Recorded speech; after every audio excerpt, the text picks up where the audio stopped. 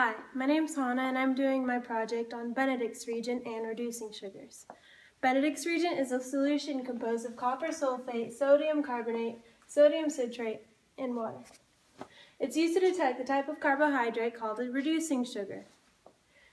The Benedict's test or Benedict's reagent will react with a reducing sugar and form a precipitate, blue being a negative test and red being a very positive test.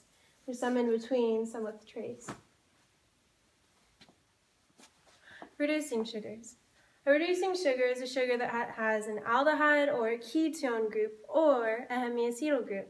A monosaccharide that has an aldehyde group is known as an aldose, and all aldoses are reducing sugars.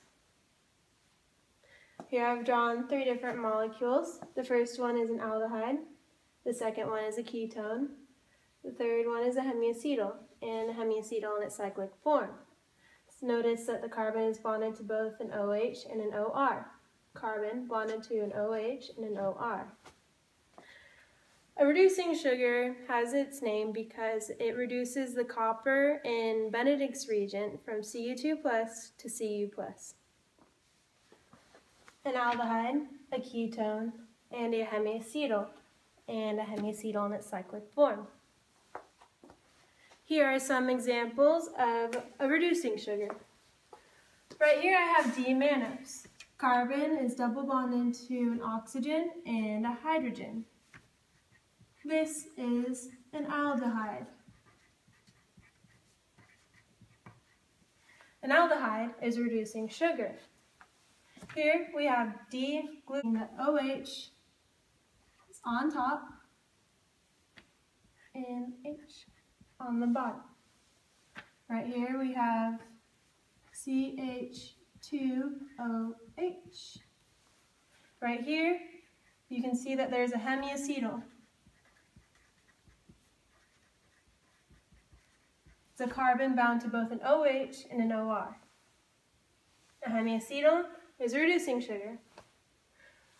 Lastly, here are two different molecules. This one has hydrogen, found oxygen, found hydrogen.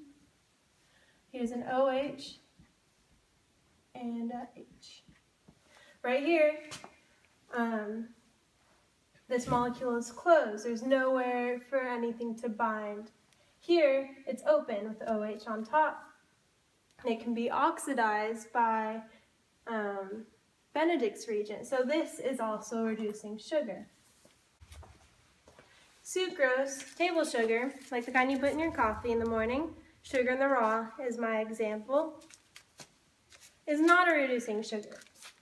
As you see, there is no free aldehyde or ketone or hemiacetal groups. There's no carbon bound to both an OH and an OR. It cannot easily react with other molecules like this one here that can be oxidized because it's open. See? And this reaction is um, glucose with Benedict's reagent to form glucanoic acid. Notice that the, um, the copper goes from Cu2 plus to Cu plus. And right here, this carbon goes from COH to COOH. Benedict's test can be used to detect diabetes mellitus with the presence of glucose in urine. It's not always reliable though because um, within the test you must heat up your sample which can break the glycosidic bonds. In sucrose for example, when it's heated up, the glycosidic bonds are broken, it's changed to a different molecule, which does reduce Benedict's reagent. So that's why the test isn't always um, reliable. And that concludes my video for Benedict's reagent and reducing sugars. Thank you.